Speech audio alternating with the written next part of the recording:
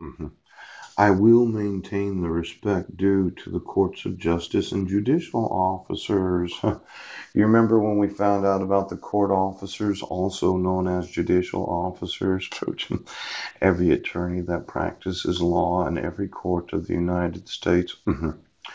now, how does it how does it give respect to the courts of justice and the judicial officers oh, when you allow for the issuance of court orders where obviously uh, the respondent did not have reasonable notice. And Brent, you can't just keep saying somebody's fucking crazy.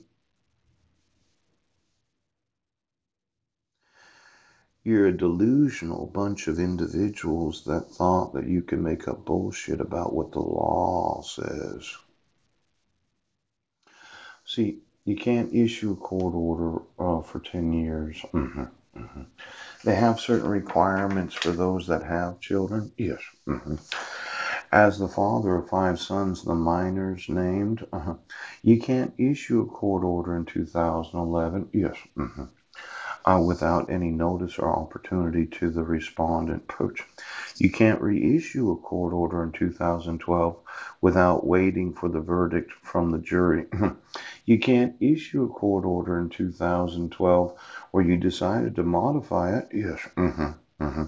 Without me saying, seeing the actual declaration of the individual that said that I had some sort of problem. you can't keep reissuing court orders you have disrespected mm-hmm, mm-hmm, the courts of justice mm-hmm, and the judicial officers. Now, I know that you thought that you could do what you're doing, but you actually can't. It happens to be fraud. And as many times as I've told you that it is against the actual laws of the United States, you keep saying that I'm the one that has the problem because you want to believe that I'm crazy when I'm not. now, here's an example again. June 1st of 2015, Commissioner Brent Basden. The existing protection order didn't uh, expire for another for 93 days, and the law says that you can't reissue it. That's in violation of the laws that you said you would I'll be subject to the laws of the state, that you would abide by the same. Now, there was no attempt of service from June 1st to June 12th. Yes. Mm-hmm you have to attempt service. Mm-hmm. It's a requirement of law. the petitioner is required to attempt service on the respondent and have proof that the respondent received service, process, service of process five judicial days prior to having a court hearing. You can't reissue it without any attempt of service. and then you can't have a court hearing 50 days later when you can only issue a temporary protection order for 14 days. You are not subject to the laws of the state of Washington and the laws of the United States, and you have not abided by the same. Does every stupid fucking attorney, do you understand?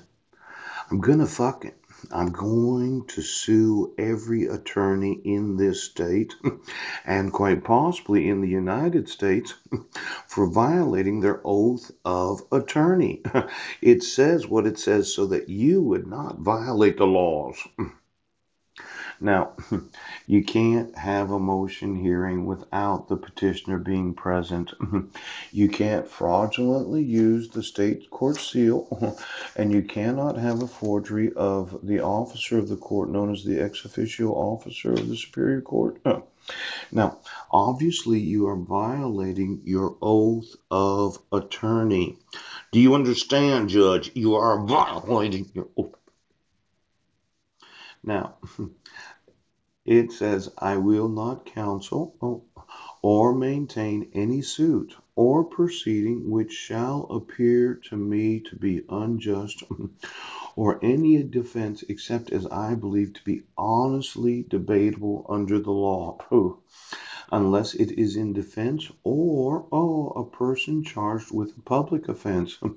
Now, I will employ for the purpose of maintaining the clauses confided to me only those means consistent with truth and honor. Oh, I will never seek to mislead the judge or jury by artifice or false statement. Oh, oh, oh. now we looked at artifice and we looked at false statement and we looked at fraud and we looked at fiction. Now let me see here. Mm-hmm. What is false statement? Mm-hmm. The issuance of this uh-huh, uh, weapon surrender form? Yes. Mm-hmm. At the same minute as the issuance of this? Ooh. Uh, ooh, ooh, ooh. Protection order with this signature? Yes. Mm-hmm. Mm-hmm. Is not the same as this signature. See, I know you're having a difficult time understanding artifice or false statement. Yes, yes, yes. this is what's known as artifice, yes, or false statement. Do you see the difference between the two there? Yes. Mm-hmm. This is known as artifice and false statement. no signature of the protected person, no signature of the petitioner, and two different signatures for the Clallam County Clerk of said county. Pow! Now, for all of you that said, I will never seek to mislead, oh, uh-huh uh, uh, the judge or jury ooh, ooh, by any ooh, artifice or false statement. Mm-hmm. Now let's look at the criminal complaint, shan't we, Brett Roberts? because I'm going to put you in fucking prison. Do you understand? I'm going to put you in prison. The two count criminal complaint. Where allegedly, yes, I was in Brinnon, Washington on or about June 16th of 2017. Mm-hmm, mm-hmm, mm-hmm. Now, what is cyber stalking? Yes, yes, yes. That I had sent a very lewd and lascivious email to my wife. Uh-huh or I had not emailed her, and then I violated that. Oh, oh, oh, oh, in Jefferson County on June 16th of 2017. See, it says that the defendant in Jefferson County, Washington, on or about June 7th, with knowledge had previously. Oh, now I wasn't in Jefferson County. I actually sent videos from the actual location. Now, um, you're getting sued. You're getting sued for violating your oath of attorney. Oh, Judge Landis is getting sued. Okay. I told the judge to read the protection order. I told Judge Porter to, to, to, to read the protection order. Now, you are you have uh, intentionally sought, never seek, you have sought to mislead the judge or jury by any artifice or false statement. Oh. Now, let's look at the response from the state of Washington, all of those that are employees of the state. You're allowing for. Oh,